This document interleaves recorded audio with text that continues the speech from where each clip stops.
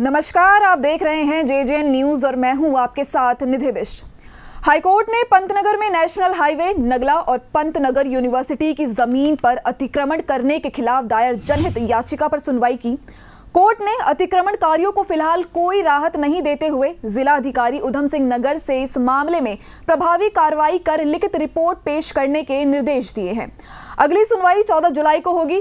अदालत उसे दिन अतिक्रमणकारियों के प्रत्यावेदन पर भी सुनवाई करेगी।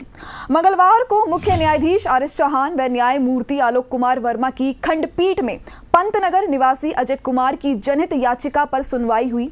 याचिका में कहा कि जिला उधम सिंह नगर के पंतनगर, नगला, नेशनल हाईवे और पंतनगर यूनिवर्सिटी की सरकारी भूमि पर पिछले कई सालों से अतिक्रमण कर अवैध रूप से निर्माण किया गया है। जिससे नेशनल हाईवे की सड़क संक्री हो गई और सड़क दुर्घटनाओं की संभावना बनी हुई है। पिछले कुछ सालों में सार्वजनिक संपत्ति पर बड़े पैमाने पर अतिक्रमण हो गया है।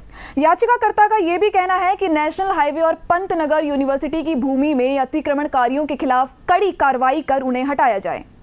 तो फ़िलहाल आज की इस खबर में बस इतना ही। बने रहिए जे जे न्यूज़ के साथ। नमस्कार।